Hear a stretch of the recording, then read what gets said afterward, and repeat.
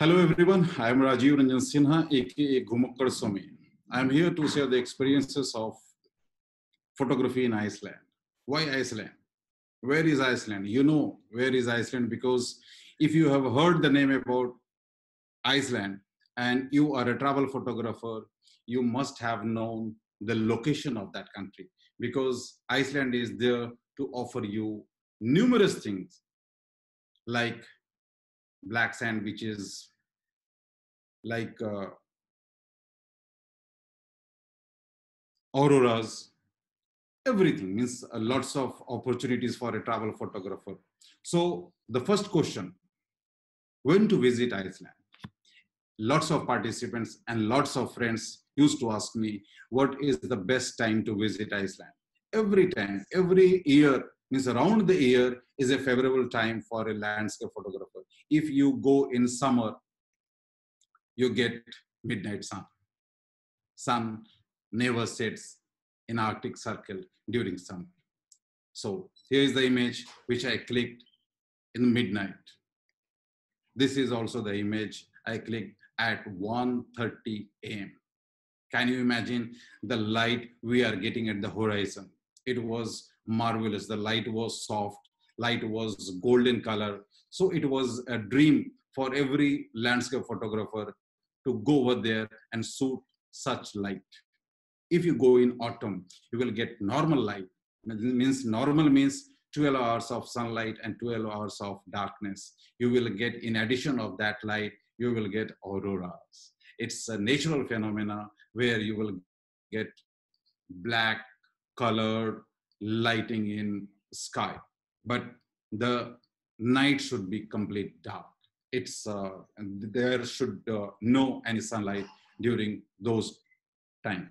So you get a wonderful uh, aurora show or you can say the northern lights over there at that time in autumn or in winter like this. It's an it's an awesome experience to see such lights. When i first saw uh, the aurora in my life, I stopped clicking the image and I started experiencing it. And I was trying to feel that uh, natural phenomenon. I was all stuck So, what are the things you should carry when you go to Iceland for a travel photography and for landscape photography? You must carry at least two cameras. We're doing the English version retake, and I'm muting myself just press the play just press play and keep it on yeah oh बाहर lightning हो रही है और मतलब thundering हो रही है नहीं ऑडियो यहाँ नहीं आ रहा है उसको ऑडियो नहीं आ रहा है ओके या all right Rajiv Hello everyone, I am Rajiv Ranjan Sinha, aka Gumukkar Swami. I am here to share the experience about photography in Iceland.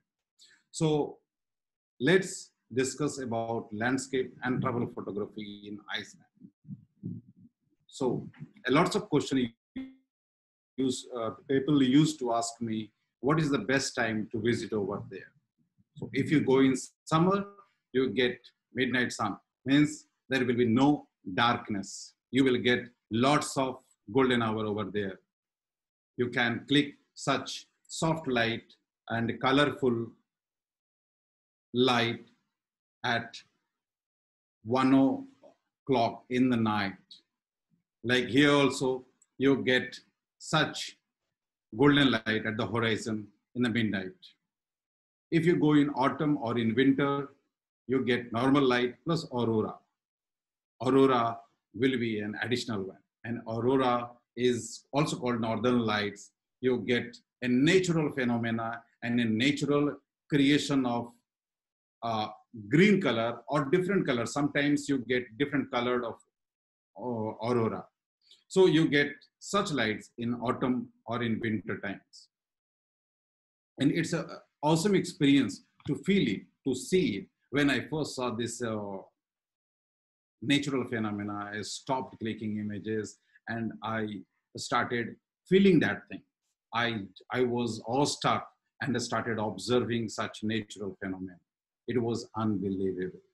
So it's my recommendation whenever you go to Iceland, at least you carry two camera bodies.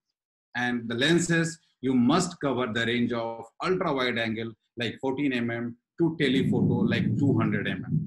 You must carry all types of filters like CPL, GND, ND. You should have a tripod, you know that. And there must be a remote trigger to start the exposure and you don't do, and you don't have to touch that camera again and again. How to travel? It's lots of questions regarding that. You will get local tour operator, you will get international tour operator, but those are really expensive.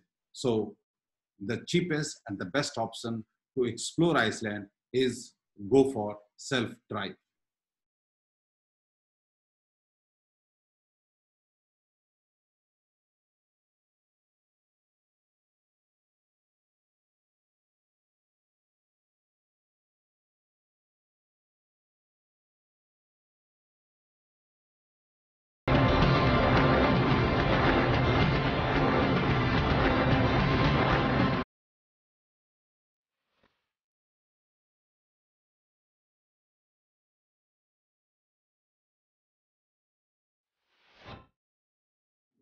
It, it's really economical to travel over there with a self-driven car.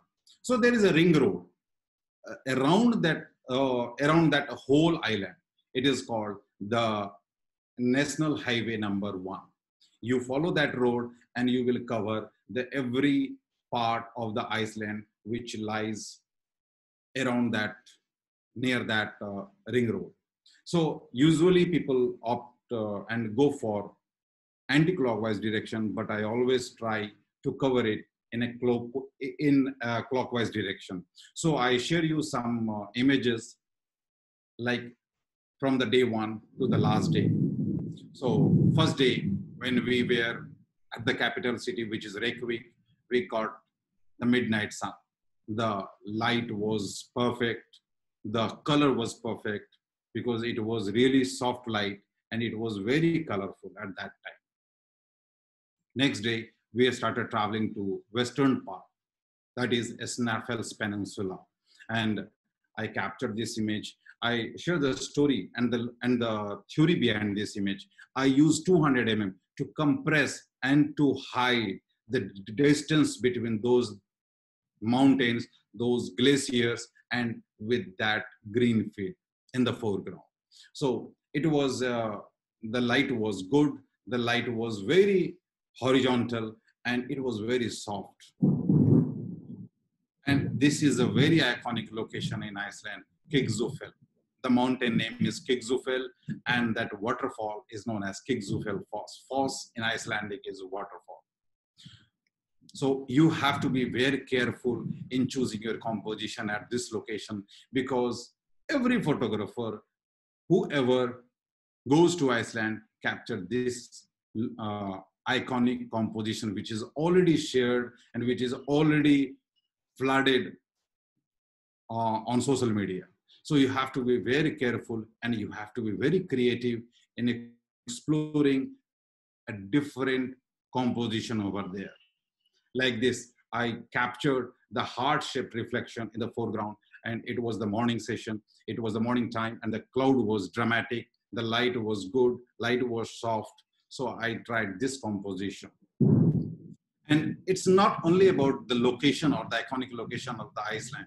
Everywhere, everywhere, wherever you go, even on your highway, you can capture different composition and use, and you can use some creative ideas. Like here, I used very slow shutter speed of approximately eight seconds to capture the trail of the traffic with those dramatic clouds. Here also the same thing the it was very cloudy the sun was hiding behind those clouds and some light were just scattering uh, from inside. And it was i clicked this image handheld so i used some higher iso. So it was noisy but the overall feel of the image was good. At this place i used slow shutter speed to smooth the seabed. And due to that slow shutter speed, I found some movement in the clouds also. the Godafoss. Again, a very iconic location of Iceland. Here also, you have to be very careful about your composition because every photographer goes there and capture different compositions. So you have to be very creative to capture a different image from that location. This is the place I saw aurora first time in my life. And it was really wonderful experience to capture those auroras at this point, the same location, Godafoss. Here also, the aurora at the same place with the different compositions, obviously. And again, in the morning, the next morning, I saw beautiful color of light hitting on those snow-capped mountain. I used a human, human element to create a depth in the whole frame. So it was really awesome. It was really awesome experience to capture Godafoss in the morning without any herd of people. Godafoss in the morning.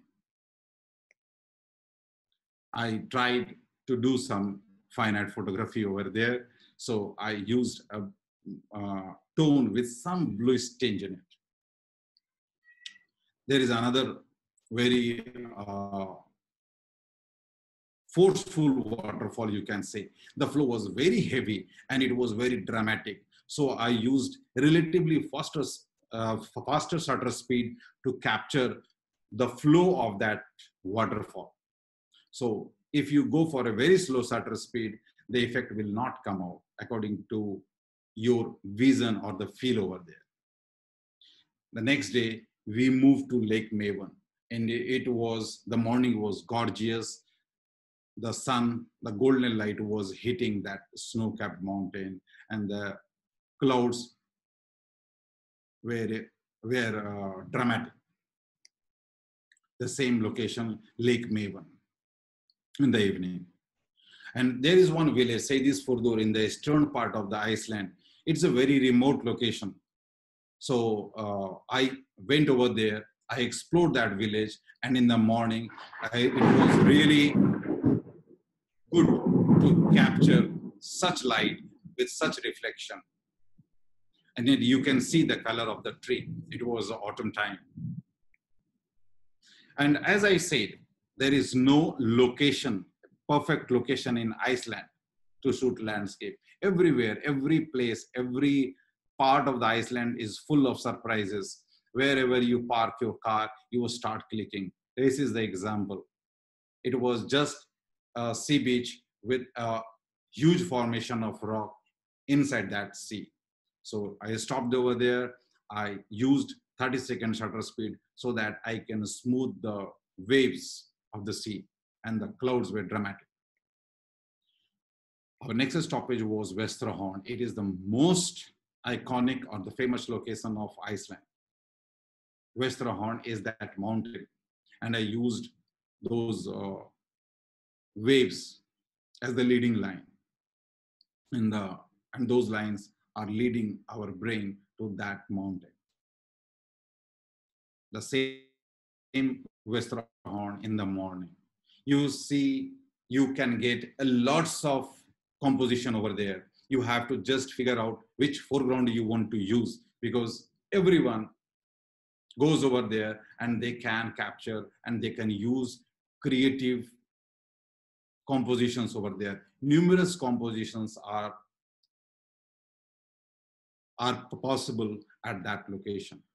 And there is another place, Eystrahorn. I used a human element to just create the feeling of sense of a scale. Here also, the same Eystrahorn in the morning with that golden light. That Vestrahorn with the human element in the evening. The reflection was good. And with this image, you can see it, it gives you the feeling that you are walking on the sea on the water. The same West, uh, Vestrahorn with the addition of human element. The same Vestrahorn with some unique composition, like the foreground, I used some logged water, which was very colorful and it was very blue at that particular time. Same Vestrahorn when the sun was setting and the blue hour was there. The foreground was just scattered and it was giving the reflection in a scattered form. So it was very glossy looking. So it was really different composition, means whatever I saw on social media. The same, the same thing. Like there is no location in Iceland. Wherever you go, you just get dramatic clouds and the how you manage to use the complete frame. The Black Sand Beach, very famous location. It is also known as Diamond Beach. Everywhere, everywhere in Iceland, you get black sand because the whole island was formed with volcano ash. So it this uh, beach is also known as Diamond Beach because you get small icebergs which was thrown out from the sky by the sea from the sea by the sea.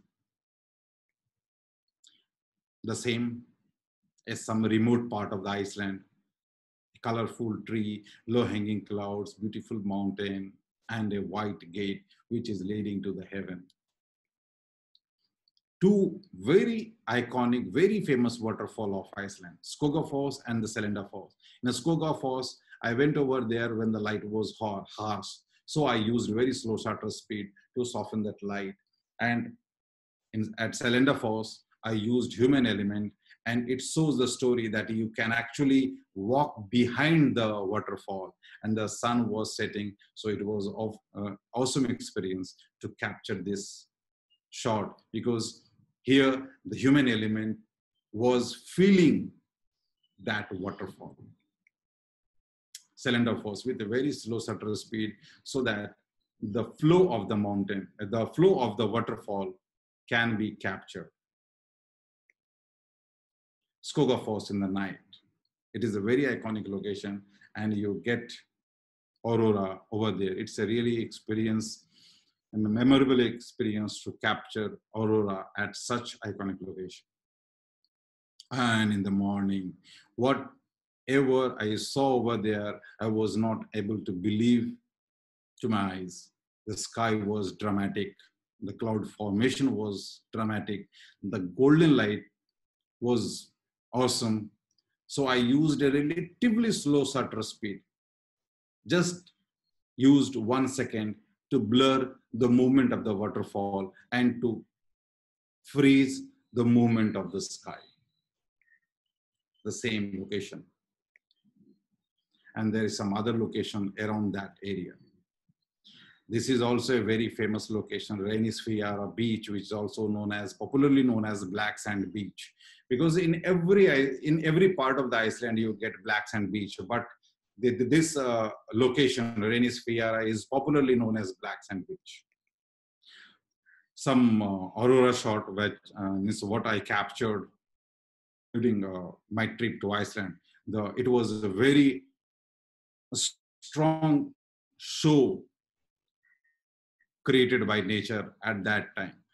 I captured different colors of aurora, different formation and different texture of the aurora. And that the last Keflavik, which is also the international airport of the Iceland. So in the evening, we went near to the sea. We got an opportunity to shoot a lighthouse at that time when the light was soft, sun was setting, and the cloud was clouds were really good and next day, we just took the flight back to our home. So it was my experience of Iceland. Thank you.